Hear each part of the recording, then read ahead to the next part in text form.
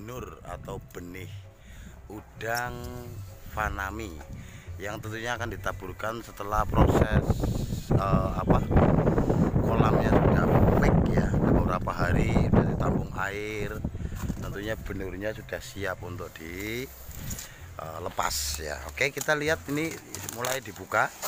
Cara uh, nebar benur udang panami. Gimana caranya? Oke kita lihat bersama-sama teman. Yuk tetap panteng terus channel kami. Pokoknya bisa untuk eh, tambah-tambah uh, pengalaman ya untuk sumber inspirasi dari teman-teman yang kepengen usaha bingung punya modal nggak ada usaha boleh ya. Coba uh, tabur udang panami benih udang panami ini caranya. Itu satu kantongnya itu ada berapa pak? Oh satu box ini ada 8 plastik ya? Uh, satu plastiknya kurang lebih berapa ribu? Wow 2000 ekor.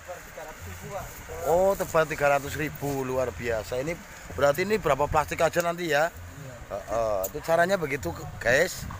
Untuk uh, sebelum dilepas benih-benih udang panaminya belum sebelum ditabur itu dicemplungin sama plastiknya itu caranya uh -uh.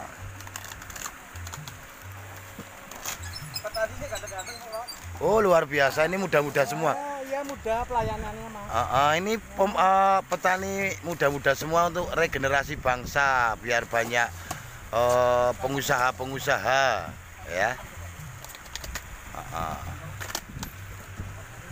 itu nanti dibukain semuanya. Satu boxnya ada 8 kantong. Kantong plastik. Ya. satu plastiknya itu ada berapa ribu tadi ya? Ada tiga ribuan. Hmm. sudah persiapan. Cara oke ya sih ini teman-teman sudah kita lihat bersama nanti sebelum nanti dibuka satu persatu. Ini sudah dari uh, kolamnya sudah dikasih uh, air juga sudah dikasih uh, apa vitamin-vitamin karena bibit atau benih benur udang panam ini perlu nutrisi yang cukup jadi sudah di nah persiapkan airnya tempatnya. Luar biasa sekali ini udah ada uh, eh, 100 meter persegi. Oh ya kita lihat benurnya ke sana. Sudah siap ini dari petani-petani udang panami luar biasa semangatnya untuk membangkitkan. Uh, ya. Bagus ini ya ini. Kita lihat udangnya di sana. Coba pak sebentar pak ya. Maaf ya. Sana, sana, pak. Anak anak singkari nyantol oke ini benur-benur udang panami yang sangat uh, luar biasa berapa ribu aja ini satu uh, satu kantong plastiknya uh, uh. ini yang kecil-kecil hitam-hitam apa pak itu namanya karbon aktif jadi dia untuk menyerap kalau dia benur kan dia BAB, BAK gitu ya, yeah. mengeluarkan gas. Yeah. Itu karbon aktif itu untuk menyerap gasnya. Oh gitu ya ya ya. Ini yang butir-butir hitam ya. Karbon aktifnya ini untuk menyerap gasnya. Oke oke. Ini luar biasa. Ini benihnya bagus-bagus banget dan sehat-sehat. Oke. Kita lihat untuk cara pelepasan benur. Pelepasan benur caranya guys ya nanti juga sampai panen ada video-video khusus dari channel kami dari perawatan tiap harinya terus ini kurang lebihnya dua bulan atau sampai tiga bulan maksimal itu uh, udang sudah bisa dipanen ya. ini baru kebar bunur tentunya untuk 300 ya 300 ribu benur yang tentunya sudah siap untuk ditabur di kolam yang sudah siap sedia Oke guys, kita lihat barang-barang untuk prosesnya. Tunggu, ini juga masih dibongkar dari box-box tersebut. Satu box ada 8 kantong plastik benur. uh, satu kantongnya ada berapa tiga ribuan ya tiga ribu benur dan benurnya sama dengan yang akan di uh, di sini tembus kayak jentik-jentik itu loh kayak jentik-jentik apa ya jentik-jentik uh, nyamuk hampir sama dengan jentik-jentik nyamuk tuh. Dideketin ya. Nih luar biasa. Dideketin oke? okay?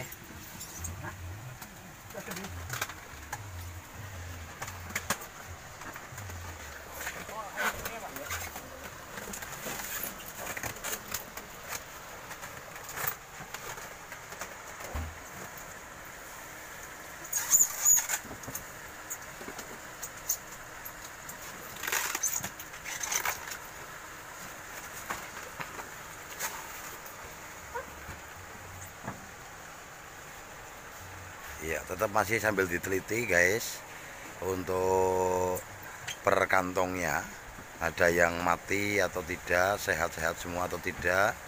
Nanti kalau tidak sehat karena dipulangkan dikembalikan ya. Diganti yang sehat-sehat. Biar nanti hasil panennya juga luar biasa atau melimpah untuk bisa menjadi besar-besar. Kita tunggu sampai umur satu minggu berapa perubahannya? Dua minggu tiga minggu begitu guys oke kita masih proses membuka peti-peti yang untuk apa namanya membawa kantongan-kantongan plastik benur atau bibit daripada udang fanami oke guys kita lihat-lihat. Dikasih uh, kincir juga sudah kurang lebih kincirnya ada 6 mana karena ini ukuran 100 meter kali 50 meter. Ya jadi 50 meter lebarnya 100 meter panjangnya lebihnya. Dan airnya sudah didetek oksigennya terus e, kedalamannya sudah di setel semuanya. Ini ada aturannya nanti lebih rincinya lebih konkretnya tak kasih tahu tentang ukuran-ukuran cara perawatan kolam juga nanti uh, kita ulas bersama ya guys. Uh, untuk semuanya. Dari perawatan kolam sampai dengan benurnya perawatannya oke okay.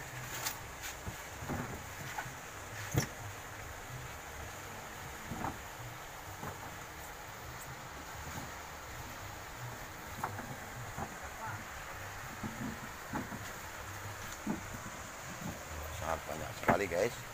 Akan ada 3000 300 kok ya. 300 ribu benih uh, udang fanami oke. Okay.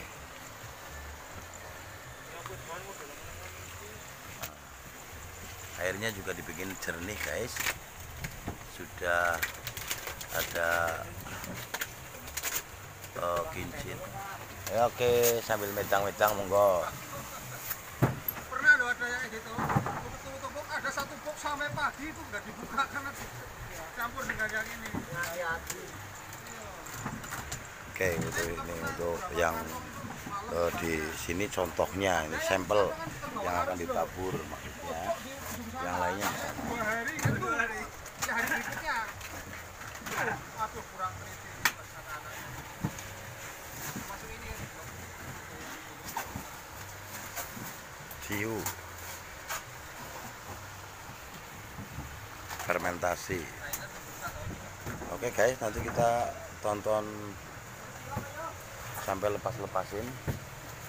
Gimana cara ngelepasin benur tabur benur udang fanami? Oke.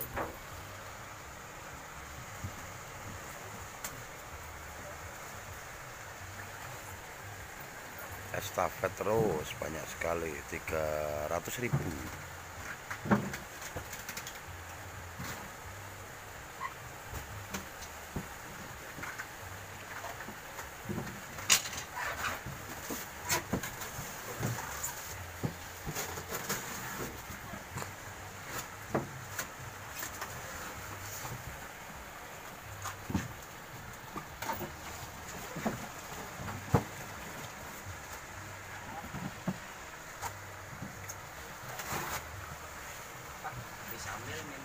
Enggak usah. Terima kasih nanti gampang. Udah di Gampang udah nanti yang untuk yang lain aja.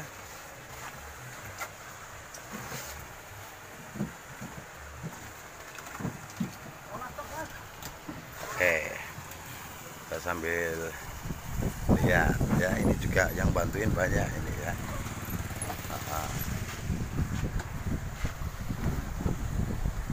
Ya, selesai sudah. Kita tinggal hitung berapa plastik.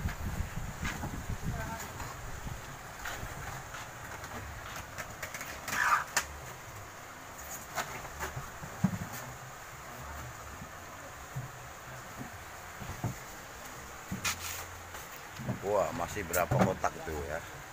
Masih banyak ternyata guys. Berapa kotak aja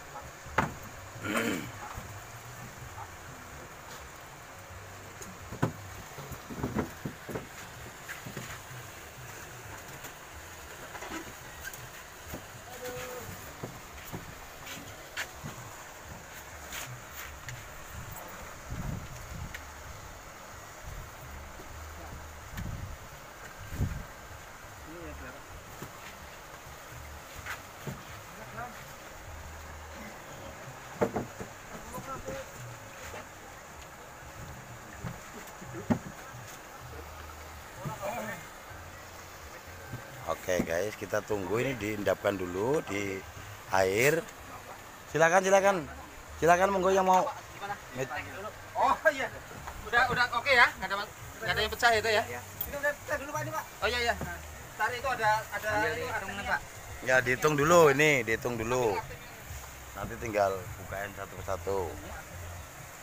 Oke, sebelum nanti dibuka, ini kan mau dihitung dulu guys kita tunggu video berikutnya untuk pembukaan cara uh, penaburan benih udang panami oke untuk channelnya di station terus subscribe dan like komen juga ya guys terima kasih untuk teman-teman semuanya 갑자기 내게 나타나준 너난 아무 말도 할 수가 없었지